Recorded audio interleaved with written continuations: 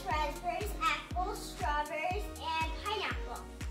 You can do it on the fondue pot, or it's faster if you do it on the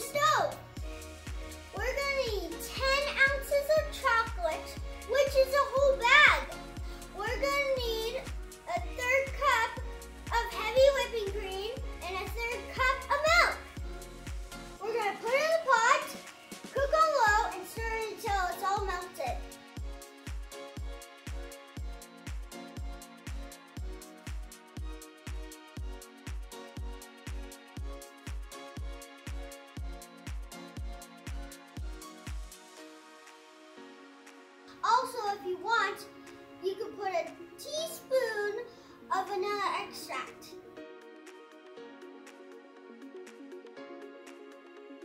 And now you're going to transfer it